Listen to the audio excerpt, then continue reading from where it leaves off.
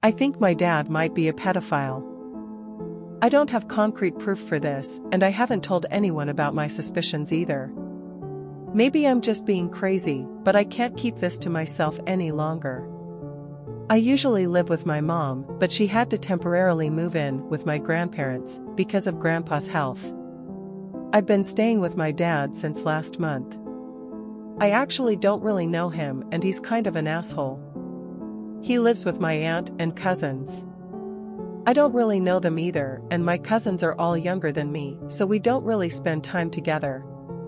I noticed that my dad treats my male cousin very different than he treats my female cousins. He pretty much only pays attention to him and, doesn't seem interested in interacting with the girls. It might just be because he's a boy. But I noticed that most of their interactions involved touching of some sort and that my dad almost always initiated it. I also caught him watching my cousin on multiple occasions which isn't anything weird, but the look on his face was making me a bit uncomfortable.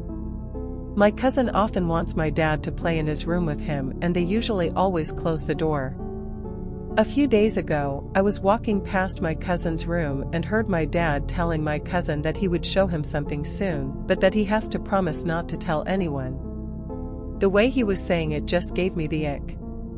I really want to tell my aunt about this, but I've only been here for a little over a month. What if that's just how they normally interact and there's nothing bad going on? Maybe I'm just reading everything wrong, but I'm just getting a bad vibe out of it. Update Hey everyone. I made a post on Sunday evening about my dad's strange behavior towards my five year old cousin. After I got home from school on Monday, I called my mom and told her everything I had noticed. She asked to speak to my aunt. I don't know the details of that conversation, but they talked for almost an hour. Afterwards my aunt just handed me back my phone and went upstairs.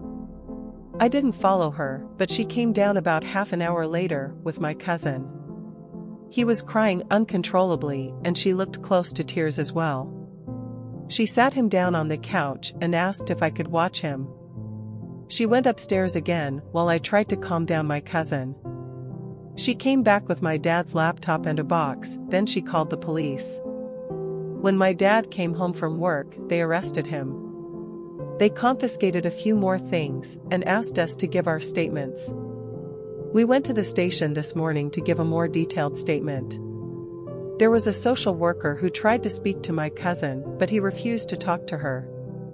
He hasn't said anything at all since yesterday, and my aunt has been discussing different therapist options with the social worker. I think the worst part about this whole situation is that my aunt and my mom already knew what my dad was like. When we got home, I asked my aunt how she found the evidence in my dad's room so fast, and she confessed that she'd known he had it all along, but he had promised her to stay away from her children. I also called my mom again to give her an update, and she said she found the pictures on my dad's laptop shortly after I was born, which is the reason they broke up. On the bright side, my grandpa is doing much better, so she and I can move back home soon.